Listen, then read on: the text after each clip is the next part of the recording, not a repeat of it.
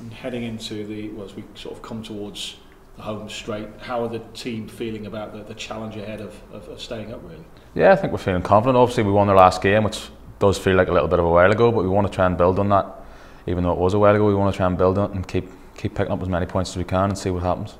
And how do you deal with these postponed games? Because mentally, you must get yourself up for it and then be told they're not happening. Yeah, you, to be fair, you hear a little little murmurs go, going into the weekend that there's a chance it might be off, and it's you obviously have to try and prepare as best you can and as normal as you can, but it's always a little bit of uncertainty this this time of the year, and obviously there's a few pitches that aren't great around the league, so you still have to try and prepare and do things properly going into the game. And when the pitch isn't great, how wary as someone like you, particularly when you have done your knee 10 months ago and, you, and you're playing on not the perfect surface?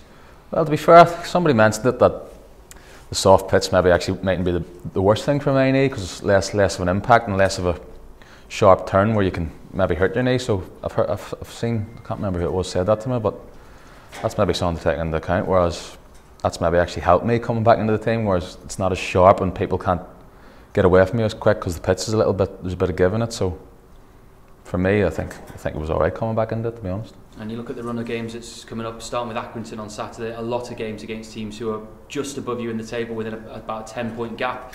It's a key period this month. Yeah, this month's massive. We want to obviously try and pick up pick up as many points as we can, and hopefully by the end of this month, I think things look a little bit better in the table, and that's that's what we'll be trying to do.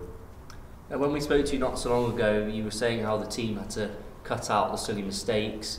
Do you feel like you have improved as a team in the last couple of weeks? Yeah, I think we are improving, but we're still getting punished for the chances we give away. But I think the last while we've, I know some of the results haven't looked like it, but we've been, the games have been quite close, and it's just the odd goal or two that goes against us. But I don't think we've been getting run over or getting cut open by teams. I think we've been in every game and competing. Hopefully, if we can stop the goals, then the results will start to turn for us.